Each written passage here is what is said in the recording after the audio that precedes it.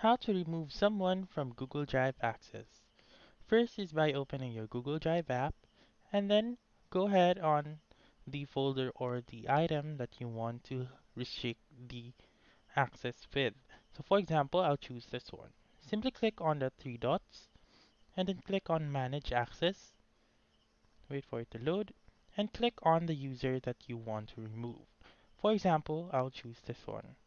Click on remove right here wait for it to load, and then there will be pop-up which says that user has been removed.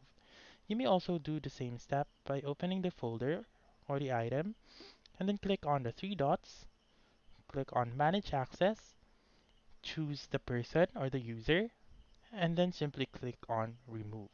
So that's it. That's how you can remove someone from Google Drive access. So that's all for this video. Let me know in the comments section if this works out for you.